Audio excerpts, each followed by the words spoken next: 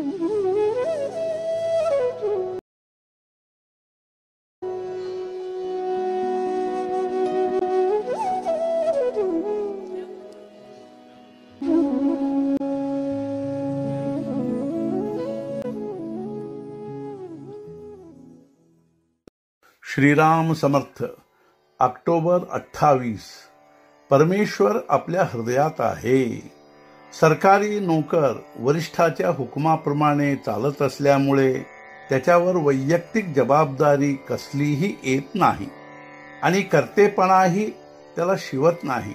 त्याप्रमाणे गुरुवर श्रद्धा ठेवून त्याच्या आज्ञेत राहावे लाभ हानी देव जाणे जबाबदारी गुरुवर आणि तोच हे साधन करवीत असल्याने कर्तेपणाही त्याच्यावरच असणार. त्याच्याही पुढे म्हणजे जे जे काही हातून घडते ते ते सर्व त्याच्याच इच्छेने आणि सत्तेने घडते.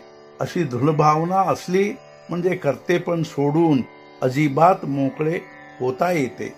असे झाले म्हणजे जे जे आपल्या हातून घडते ती त्याचीच सेवा होते. मुख्य गोष्ट ही की परमात्मा आपल्या हृदयात आहे. आपण त्याच्यात आहोत आपण तोच आहो अशी दृढ भावना पाहिजे. याच्या मधली पायरी म्हणजे परमात्म्याच्या नजरेखाली तो पाहत असताना आपण सर्व कर्मे करीत आहोत अशी जाणीव असणे आवश्यक आहे. यामुळे अभिमान सर्वस्वी जरी न गळला तरी आपल्या हातून वाईट कृत्ये तरी घडायची नाही क्षेत्राला क्षेत्रत्व आपण आपल्या भावनेने जर दिले नाही तर तिथे पाणी आणि दगडच आहे काशी गंगा असे म्हटले म्हणजे पवित्रतेचे संस्कार मनात उभे राहतात. पण तिथल्या राहणाऱ्या पुष्कळ लोकांचा तसा भाव नसल्यामुळे ते वर्षावर्षात स्नानासी जात नाहीत. यावरून त्यांना ते क्षेत्र असे वाटतच नाही असे दिसते.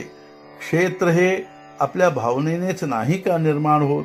मग ते घरच्या घरीच नाही का निर्माण करता येणार? याला अर्थातच दृढभाव असायला पाहिजे. तितका तो दृढ होत नसेल तर क्षेत्रात जावे. आणि आर्थिक दृष्ट्या तेही शक्य नसेल तर काशीस जावे नित्य वदावे म्हणजे काशीचे स्मरण तरी करावे. म्हणजे त्याने पवित्रतेचे संस्कार उद्भूत होऊन मन पवित्र होईल. देव सर्वत्र भरलेला आहे पण तो भावाने प्रगट केला पाहिजे. प्रल्हाद द्रौपदी यांना अगदी खात्री होती की देव आपला साक्षीकारी आहे.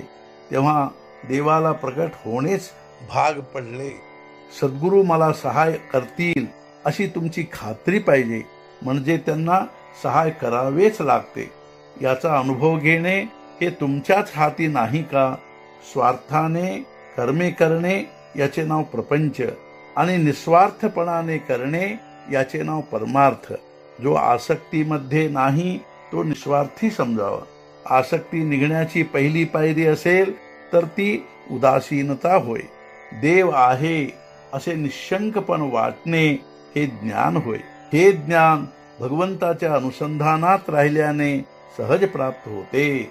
आजचा मुख्य विचार उपासनेचा काही हेतू असेल तर तो राम आपल्या पाठीमागे उभा आहे ही भावना उत्पन्न करणे हा होय. सद्गुरुनाथ महाराज की जय. जय जय रघुवीर समर्थ.